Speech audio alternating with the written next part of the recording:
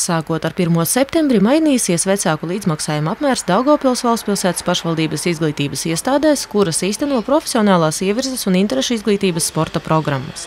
Tas palīdzēs uzlabot sporta skolu audzēkņu materiālu tehnisko nodrošinājumu un veicinās dalību starptautiska mēroga sacensībās. Jaunā kārtība paredz arī vecāku plašāku iesaisti finansējuma sadalē. Maksapjoks no 10 eiro mēnesī līdz 15 līdz 20 eiro atkarībā no sporta veida.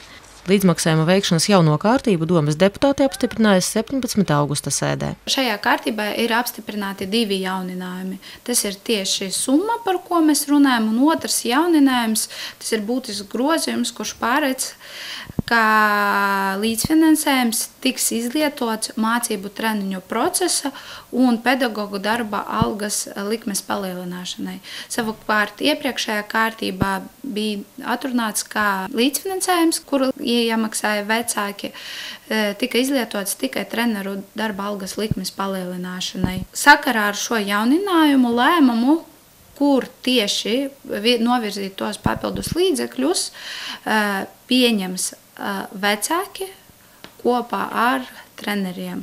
Vai tas būs papildus ekipējuma iegāde, vai tas būs papildus kaut kāds komandējuma brauciens, vai e, treneru piemaksai.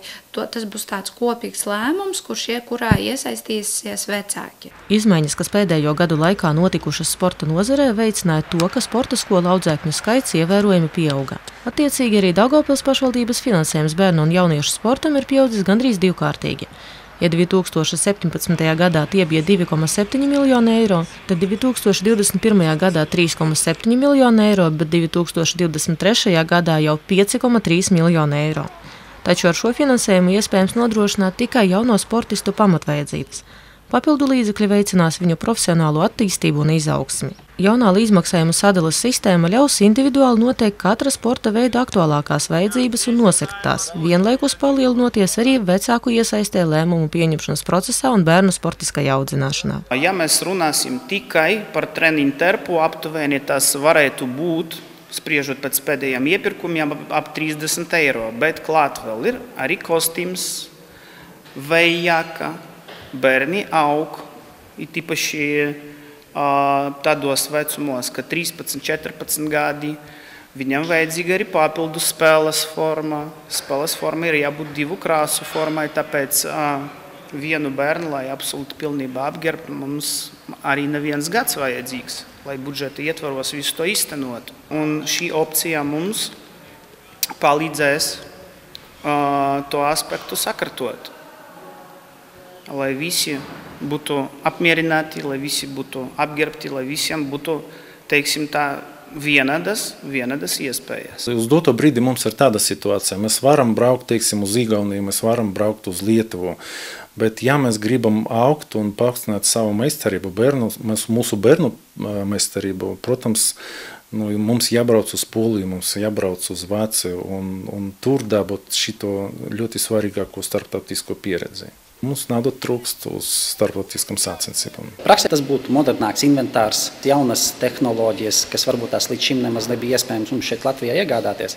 Uh, nu, ierobežoto finansējuma apjoma dēļ, bet to, tādēļ, ka piesaistot papildus finansējumu no vecākiem, tad mēs varam ieskatīt iespēju un varbūtību, ka mēs varam iegādāties pat tādas tehnoloģijas un metodas, kur nevienā citā Latvijas pilsētā vēl netiek izmantotas. Un tas noteikti palīdzētu mums arī pilnveidot sportistu mūsu audzēkņu meistarību un arī uzlabotu rezultātus gan sacensībās, ne tikai Latvijas jaunatnes čempionātos un Latvijas čempionātos, bet arī startautiskā līmeņa sacensībās. Jo nav noslēpums, ka mūsu audzēkņi piedalās un arī veiksmīgi piedalās gan Eiropas līmeņa, gan arī pasaules līmeņa sacensībās. Es uzskatu, ka beidzot mums jāatrod kopīga valoda starp vecākiem, treneriem un administrāciju. Mums vajag, lai būtu tā atgriezeniskā saite, lai nebūtu katrs par sevi, bet mēs visi esam viens vesels, visi kopā. Ejam un darām vienu ceļu. Tāpēc, ka mums ir bērni, saprotiet, un ja mums nebūs viena salīdzētība, tad kas, kas no tā sanāks? Nu, cietīs bērni, pareizi.